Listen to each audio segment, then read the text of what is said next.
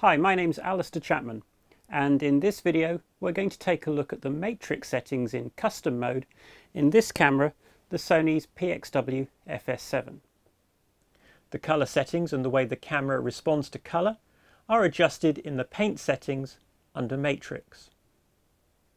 You have the ability to turn on a preset matrix. So if we turn on the preset matrix, we can now choose from one of five built-in colour matrices, each one giving a slightly different colour response. The five preset matrices are standard, which gives normal standard colour, high saturation, which gives a boost to colours, they are more vivid, FL light, FL light is designed to help you shoot under fluorescent lighting or other light sources that may have a large amount of green in them.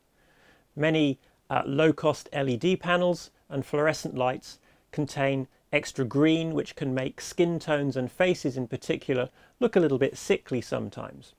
By using the FL light matrix you can remove that green tint and it gives a much more natural looking picture under fluorescent light sources.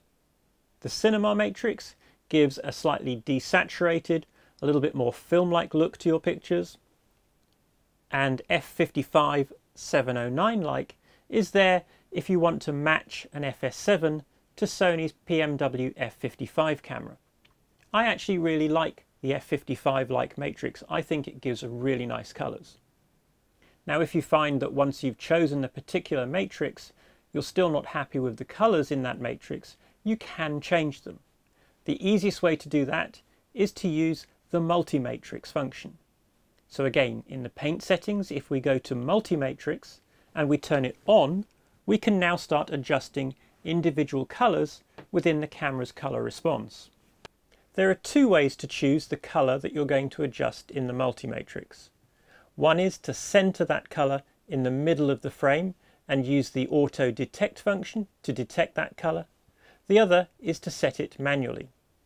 I actually prefer to use the manual setting and select each colour manually and adjust it this way. To use the colour detection function, you need to centre the colour that you want to choose in the middle of the frame. And when your colour is centred, you click execute. The camera should then select that colour and you should see a hatched line pattern over anything in your scene that is the colour you are about to adjust. When you go back to the multi-matrix main menu page, you should see the color that you've selected indicated. For example, in this case R for red. Then you can adjust the hue, which changes the tint of that color, and the saturation, which changes the intensity of the color. Note that although only one color is indicated at a time in the multi-matrix menu page, you can adjust all the different multi-matrix axes at the same time. So you can make a wide range of adjustments across many colours within your scene at any one time. A word of caution with the multi-matrix is to check with a wide range of scenes and colours that the settings that you're using aren't going to give any strange or undesirable results before you go out and start shooting with your new settings. If you've made changes to your paint settings in the camera, then it's a good idea to save these for future reference. And this is very easy to do.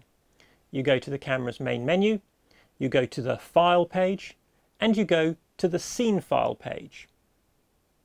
Once in the Scene File page, you'll see that there are options for recalling and storing to the camera's internal memory, as well as to an SD card. Obviously, if you want to save on an SD card, you must have a formatted SD card in the camera. The first thing that you need to do to save a scene file is to give it a name, and that's done through the file ID function, and give the file something that's easy to remember or relevant to the way the picture looks. Once you've given the file an ID, you can then save it either to the internal memory of the camera or to an SD card. My preference is to save the scene files to an SD card because there are only five internal memories in the camera, so you can only save five different sets of settings. And by saving it to an SD card, if you want to copy that scene file to another camera, perhaps you've rented in a second camera for your shoot, then you simply take your SD card out of your camera, put it in the second camera, and recall the scene file in the other camera. It's really very simple and very easy.